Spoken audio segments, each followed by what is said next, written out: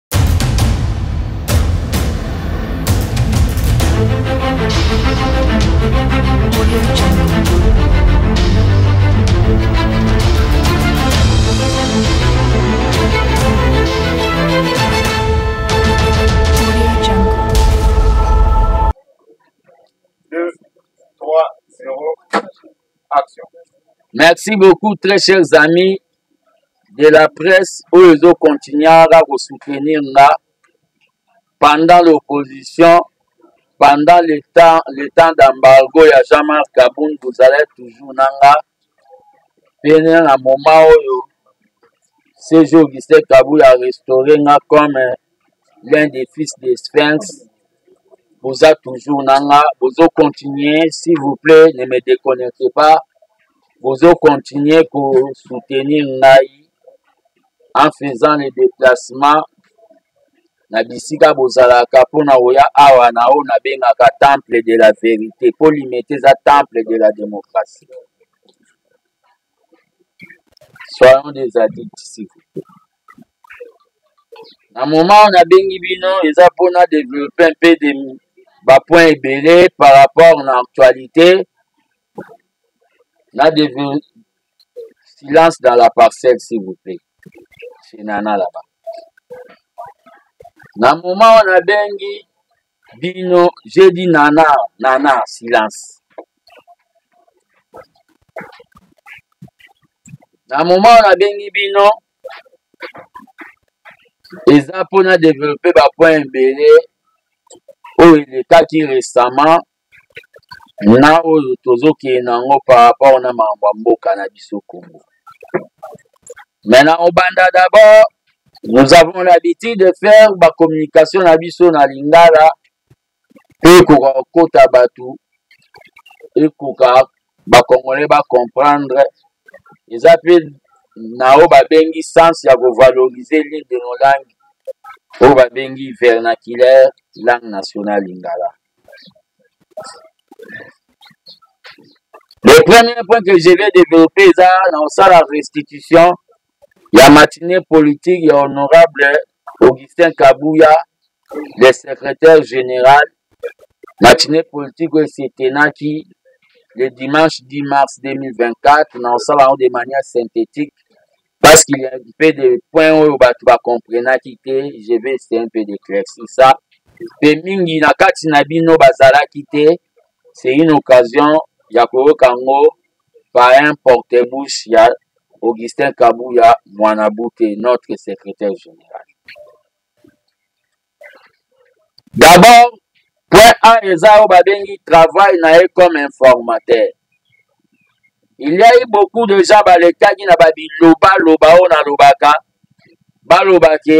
asalaki un travail baclé c'est un incompétent lokola bango batanga na balouvain batanga na bavard lokola augustin kabuya atanga na, na, na université de commerce oyo eyalaki iec donc bango baleki biso augustin kabuya asalaki travail pendant 10 jours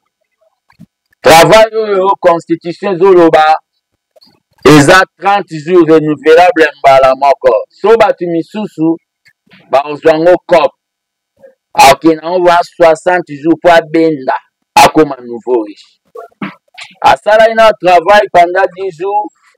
ya koetudie oyo babengi configuration yango babengi baforce oyo eza na kati ya parlement mais travail ezalaki bloqué na sens mpe mbongo oyo ebandaki kobima na trésor public astopaki yango na souci ya koboya oyo babengi gabegie mpe kopesa leson na bato ke aza oyo babengi un idepesien mwana ya tshisekedi astopaki mbongo oyo wana bapesaka informateur mpo pate ebimaka eza constitutionnelle na travail wana alaki bloke bato mosusu baleki na ba tv balobi incompétence et consort mais alaki bloke parce que il y avait des contentieux na niveau ya cour constitutionnelle parti mosusu nkombo na yo tatiana ezwaki 20 député mais lere bake batraite badossier ekomi na 6 député soki siko afinalizaki travail parti tatiana nga azwa 4 poste engai ebima oyo babengi un travail baclé e oyo babengaka haute trahison yango nde astopaki na travail akendaki kopesa mokonzi ya mboka premier rapport bato ba bilobaloba baleki na bachaine ya bino mpo baloba ke incompétence lelo se justifie leur cour constitutionnelle epublie oyo babengi résultat définitif baparti misusu babaskile bomoni ya bana bahati oyo bakomaki comme oyo bakotaki na biro kutu ye kutu akoti ti na biro mais cour constitutionnelle eyebisi ete ebima libanda faux mouvement eza na libanda malgre papa no aza wana me eza na libanda donc mpo bomona ke il a fallu bastope na makambo cour constitutionnel eyungula ndenge esali ndenge moko mpe na bato mosusu batyaki bamakelele awa balekaki na chaîne moko ya confrère na bino oyo akoma kokende kokundola bato oyo balelaka lelaka na idps mpo alekisa bango oyo azalaka laboranteur na omeco akoma journaliste atika microscope asimba micro motu mwa alekaki compagnon na nga aliti jeko alekaki na balivre moko boye oyo ba pv ok nayebi te soki alaki balivre ya grammaire to ya arithmétique o oh, amemi ba pv kuna soki na cour constitutionnel mais na suka boyoki na mio nkombo na ye te c'est-à-dire des fois on doit être sérieux na makambo tosala babiso bafisi miko toboyaki kopostile mpo tosala te pendant trois ans nakokaki koépargne te na etat ya malade oyo nazalaki donc on ne va pas dans une guerre pour échouer donc eh, namonaki kaka na soutenir na nga augustin kabuya ahonore nga mpe abimi na travail oyo tosalaki lelo makambo ebaskile udps ebakisi encore 5 député oyo bakotisa ye recours inc ebimi deuxième ebimi quatrième selon ndenge bayunguli na niveau ya cour constitutionnel donc nde cour constitutionnel eyunguli wana makambo evide deja ata oke na cour constitutionnel ya lola nzambe aloba makambo wana ezo concerne ye te wana eza makambo ya mokili ya césar seki eta césar augustin kabuya sikoyo tokokoma na point premier ministre abima boyokaki bato ebele baoloba ke il est l'informateur et formateur tant que quelqu'un qui comprend babengi sociologie ya congo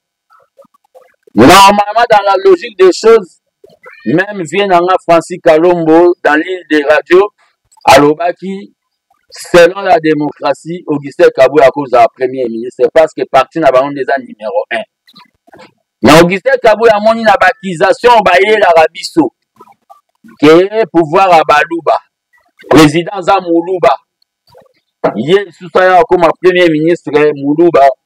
bato wana bakozwa yango su cheval de bataille na bango pendant deuxième mandat alobi ke non il y aura un premier ministre oyo akobima na idps dans la logique des choses me akozala moto ya ndinga mosusu akozala mongala kama akozala mokongo to moto ya bandundu akozala moswahili comme akozala oyo babengi donc eh, moswahili donc natangi oyo babengi eh, bamboka donc mongala moswahili moto ya bandundu to mokongo baza na kati ya udps me augustin kabula ayaki komanifeste oyo balobi ambition na ye ya kokoma oyo babengi vice premier, premier vice président ya assemblée nationale amanifestaki yango devant oyo babengi le vice-président actuel Prosper Mbata azalaki na matine c'est-à-dire eza poste à vie te okosala otelemi mosusu mpe akoti asali c'est ça l'udps par rapport na situation ya guerre ya est mpo balobaka ke udps ekipama mba est te augustin kabuya adefinisaki guerre oyo eza guerre moko baobenga complot international complot international dans quel sens bomoni bino mo nde union européenne esali oyo babengi ekende osala contrat ya baminerai na rwanda ebimi na mpwasi yango nde na basi na nga mona tiaka naloba na bino ke voici les complices c'est l'union européenne c'est les états-unis la france et l'angleterre bango nde baosala complot wana ebimi mpe na mpwasa lelo pologne basali wana contrat militaire l'un des pays de l'union européenne contrat militaire na oyo babengi Rwanda. Na yango tant que baba de la jeunesse congolaise nazo lancer appel na ba militaires na biso bazo landa nga na front. Cette guerre eza guerre moko boye eza guerre moko mindele baza na nsima nango à cause ya coltan oyo esalaka esungaka batelefone na baordinatere na lithium oyo ekosala babateri c'est-à-dire mindele baosala biso guerre baotinda mwana mosala na bango moyibi paul kagame moto ata ameli se 4 oya monene te ayibela bango matière bazwi mwa bacongolais lokola bacorneille nanga basanz esprit ba na ba jean jacques soki oyo awutaki epa mbemba oyo awutaki mlc bazwi bacongolais moo batie bango wana ke basala oyo babengi rebellion na m23 na uganda donc guerre moo boye bapeye beye baa na kati na yango naoloba na basoda na biso boye boabattre un soldat rwandais to un mercenaire polonais ça ne sert à rien ya okunda ye bozwi ye botie na nzungu ya mafami bozwi matungulu na bapilipili na wil bolambi ye bolie bofilme bolarge image epesa mindele leson donc bamoni bapolone batokise balia ye na kwanga ça sera une leson na cadre oyo kaka ya guerre ya est bato ebele baloba ke social ezosimba te guerre ya est eza lokola papa na ndako aza na mwana moko azobela très grave esalaka oyo babengi bouskilade meme na social ya ndako bomona kolia lia mosusu badimine dejeuner maki ezala susu te mpo ndeko aza na maladi na koma ndeko ya biso aza na maladi na koma eza goma ezosala oyo ezo ambuye oyo babengi fonctionnement mpe ya république ndenge moko lere bazwaka basimbi miba na baguerre mo esalama na baepoke eyambuyaka mpe ekonomi ya congo na baepoke wana donc bato ifo bazala honnete que social oyo tozo vivre na difficulté vivons direment aujourd'hui parce que parti ya mboka na biso eza menacé mais nous vivrons bien demain nakoki koleka te na, na makambo ya guerre oyo eza sikoyo point de vue na ngai ya augustin kabuya te boyokaki makambo ya est kagame alingi bakutana na président lorenzo nde aye na makambo wana position na nga tant que patriote baba de la jeunesse eza boye kagame aza mwana mosala ya mindele se prouve noir sur blanc la bien te tiseke le père oyo afina nga na kingo il faut kaka naloba président de la république rencontre wana soki osonde bato baamona ntina nango te parce que kagame azorepresente bato oyo baza besoin baminere Lorenzo akomi kobeta neti jeu ya distraction ya communauté internationale ya miyibi yana ba union européenne kokutana na kagame nde bana wenge balobaka eza oyo babengi croisema desole kobota eloko te mpo ye azosala ne cope ya bato wana bainstitution ezovanda sala projet ya déclaration ya guerre benga oyo akozala so pepe mboso so pepe bahati yebisa bango basangisa de chambre déclare guerre déclare guerre na rwanda déclare guerre na communauté internationale wana guerre wana lelo yo odeklare yango na minute oyo yeba ke ndenge oza na mokonzi ya mboka fati oza oyo babengi president ya bacongolais vivant na baoyo bakufa bakimbangu na bakimpavita okomona na baoyo bakufa bakokota guerre wana c'est-à-dire déclarer guerre na rwanda ekoma officiel parce que trop c'est trop makila esi etangi ekomi okokana na fleuve congo océan du sang déclare guerre na bango bango luanda wana eza ba gymnastique mo diplomatique oyo ekobota nango eloko te yango nde na cadre na nga tant que baba de la jeunesse nazo lance appel na ba mouvement nyonso associatif nazo lance appel na ba mouvement fatiste nazo lance appel na ba mouvement tshisekidiste mpe ba mouvement citoyen bakongomani de père et de mère vendredi le 22 à partir ya 10 heures nazo organise oyo babengi marche contre l'agression eza deuxième marche oyo nazosalisa ya mbala oyo sikoyo ekokende marche contre l'agression lieu de rencontre ezali oyo babengi gare centrale point de chute eza tokipe rwanda te mpo ye aza mwana ya mosala tozokende ntina biro siège ya union européenne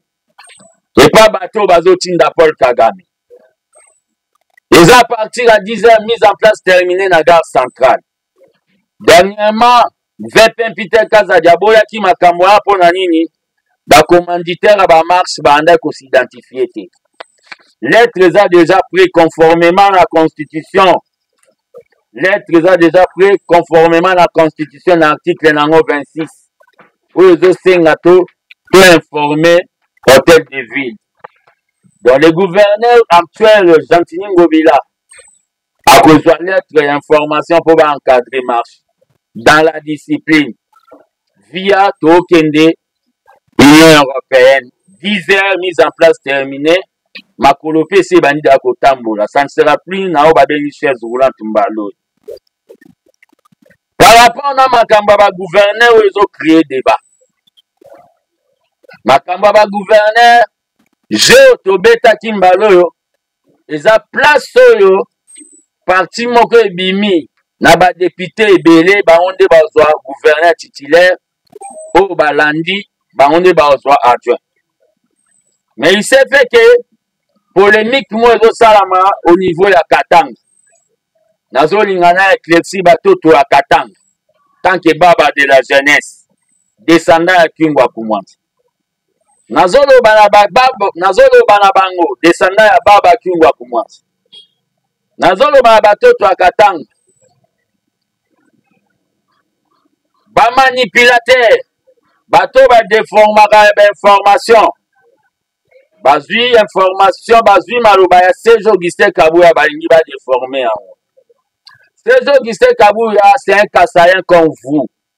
bino bakasayan bovandaka na katanga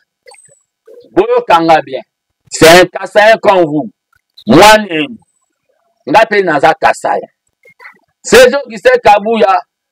alobelaki oyo ka balobi verité des fois verité mosusu eswaka il faut to accepte yango soki tolingi pouvoir oyo eza ya biso ba congolais evanda na kimia il faut to éviter ke baetini misusu bamona ke biso baluba nde tolinga kosala domination il faut to souffrir na makambo misusu parce que moko na biso nde aza na tete ya pays donc il faut tosala oyo babengi baconcession na makambo misusu ndenge mama kolo mwana liboso ya salomon alobaki te bopesa ye mwana susi wana nde ifo tozala sezo gise kabul alobi boye le baluba basalaki oyo babengi immigration bapapa na bango bakendaki kosala na jecamine nde bakendaki kosala na jecamine makambo etali pouvoir na katanga etali bango te c'est une vérité ndenge moko mpe na kinshasa awa c'est difficile bomona na niveau ya kinshasa bazwa un muluba batya ye na tete ya kinshasa ezayele mpasi mingi bangunza baolinga yango te eza mabele ya bateke na baumbu bato bakozwa yango mwa moke eza bato ya bandundu to bato ya bakongo eza mpe ndenge mona idps suite kaka na bamakambo misusu nde moluba ayaka kokoma secrétaire général wana cité alexis mutanda na lelo kabuya aza secrétaire général mais selon le père poste wana ezalaka ya bakongo ezalaka ya oyo babengi bato ya bandu tomona yango docteur pongo premier secrétaire général tomoni remi masamba mpe tomoni bino mavungu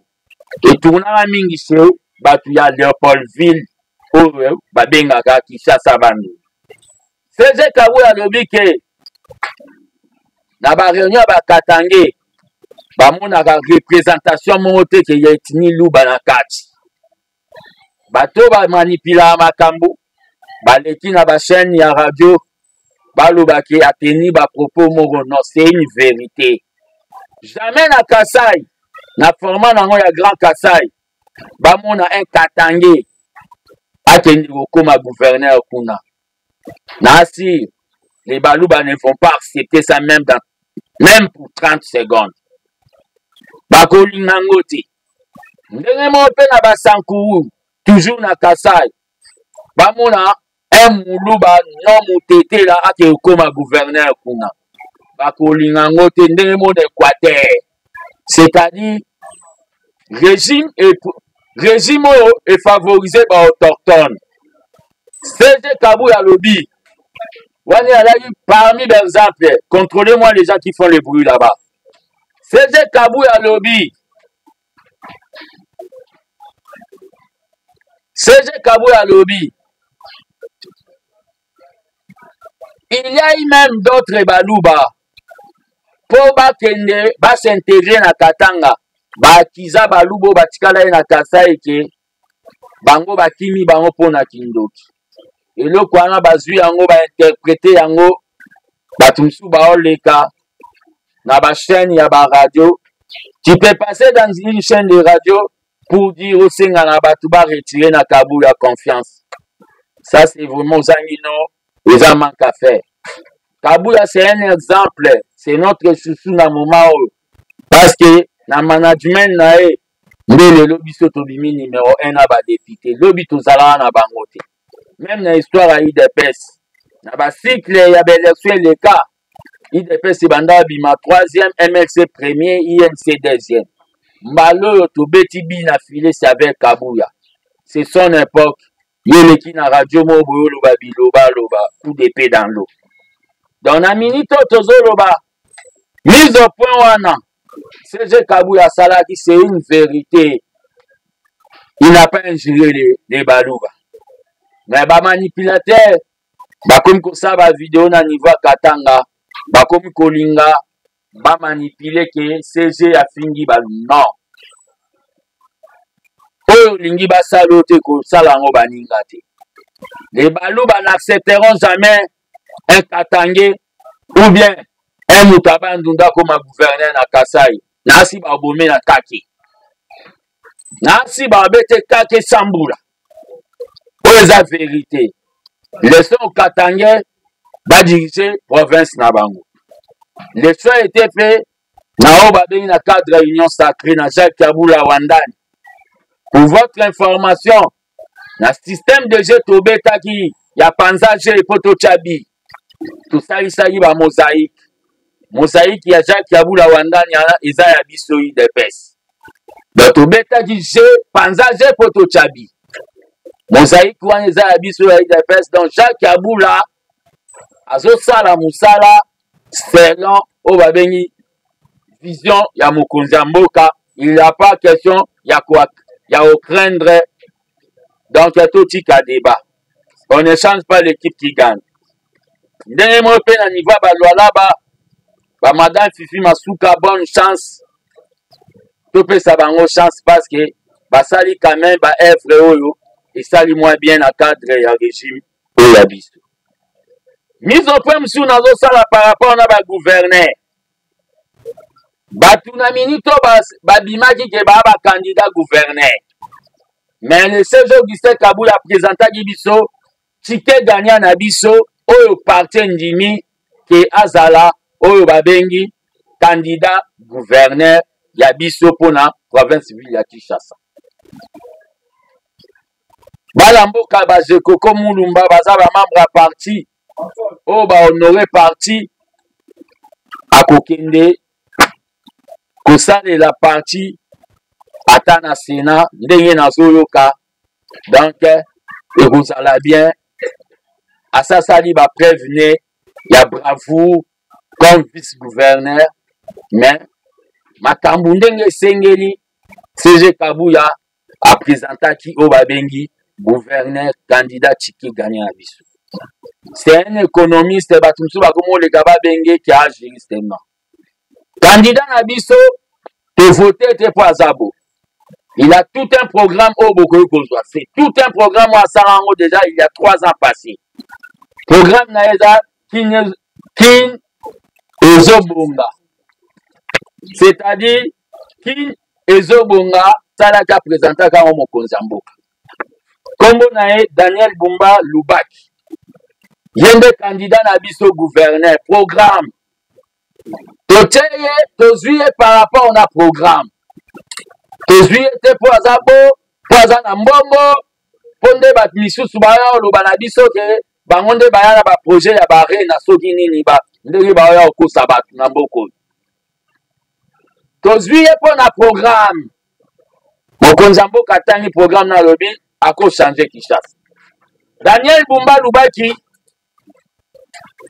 baoyo bakozala bezwa programme bakozwa yango yo moto ozalaki kandida na compte ya udps yo moto ozalaki kandida na compte ya udps na minite oyo parti ebimi ebimisi motu souffrir ke candidature na yo wana eza sur na importance te c'est le parti présidentiel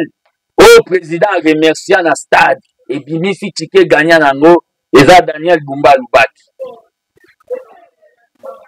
soki omaintenir candidature na yo eza neti otosi mokonzi ya mboka te c'est-à-dire lobi okokoma lokola ozokende carrière solo soki okomi guverner obanda otosa mokonzi ya mboka te orke kinshasa eza berceau esenga gouverneur oyo azo travailler en harmonie avec mokonzi ya mboka yango nde tozoloba boye boretire bakandidature na bino un parti politique eza oyo babengi discipline bosangisa baprogramme na bino boya botravaille na oyo babengi daniel gumba lubaki kokende yo moko eza oyo babengi rebellion eza oyo babengi tetitese c'est pour cela nazopesa mise en garde na baministre tozoyoka baza derrière bakandida mosusu na botanga nkombo me baministre wana toza daa na bankombo na bango na bamandataire oza no ministre mais oza derrière gouverneur mpo bosala ne cope nini oza derrière candidat gouverneur toza deya na bakombo na bino awa baministre na bamandataire soki bokontinue totanga bino mpo na makambo etali corruption mokonzi ya mboka abengaki da ministre mpo ayokaki solo ya corruption abengaki da ministre ya justice ayebisi ye mpo na mambo ya bagouverneur na basenateur vanda na procureur baprocureur mpo mbala oyo nalingi namona te bato moo baza corrompi yo moto okoya na mambo ya corruption so batyo maboko makala toyebi bino ke so bokoti makala bokotaka bien me so bokomi kuna bobelaka mpo bamema bino poto mbala oyo tokomemelo banovalgie na baspirine kuna oke poto te mpo bokotaka bien so bosali bainfraction kuluna so akoti makala ata beli asiportaka me bino 4 mingi bokoka yango te me koyiba na corruption bino bale premier yango nde nazoloba boye tellement yo ministre nalobi naza ndeya na bakombo na bino bato bozo soutenir bakandida ya baétranger un candidat gouverneur mais asa sololi na communauté mwa étrangère ke bosoutenir nga bopesa nga ebela mbongo so nakomi gouverneur bino bobanda ofuta su bataxe te toyebi yango déjà donc toyebi yango botika yo akosa bato ke nga na candidat fati fati aza na candidat te fati atikaka biso ida te tolamba biloko topresente ye topresentaki ye daniel bumba lubaki c'est-à-dire topresentaki yeye topresente na matinée politique bina fili yango nde tozoloba boye mokolo ya mobi mokolo mokolo ya élection ya gouverneur combattants et combattants force du progrès discipliné tokozala biso nyonso kuna na oyo babengi assemblée provinciale tokozala kuna dans la discipline mpo totala travail to observe ndenge ekoleka tokozala kuna bose prépare déjà soki exerce ekobanda soki ekosila une heure tokozala tozela résultat parce que tomona tomona na bino babengi badepute provinciaux ya ville ya kin mpo toza na besoin ya moto aza na programme ya kolongwela biso bafulu oyo ya kindoki eza ya kinshasa toza na besoin ya moto oyo aza na programme oyo akoaseve oyo le gouverneur gentini ngobila abandaki marché central asi ya kosala continuité de l'état asilisa yango toza na besoin ya motu oyo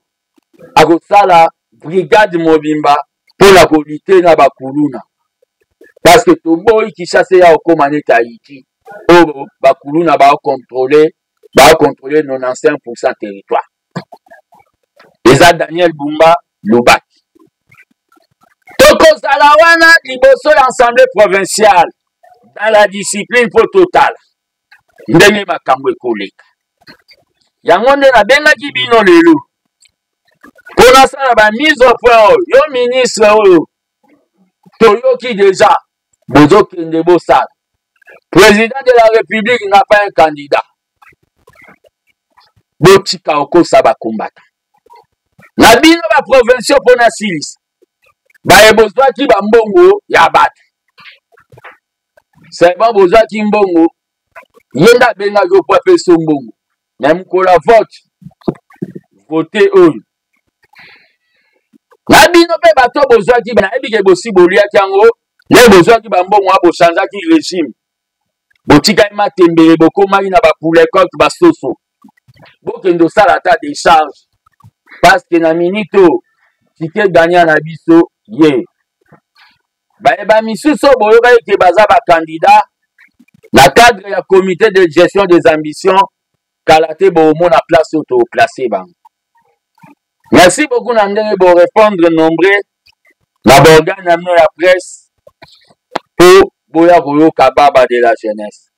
rendez-vous eza mardi rendez-vous eza vendredi le 22 vendredi le 22 tokutana na gare centrale à partir ya 10 heures tokende ti na siège ya union européenne bato baotinda paul kagame abomaka bandeko na biso na est mpo na baminere na biso je dis je vous remercie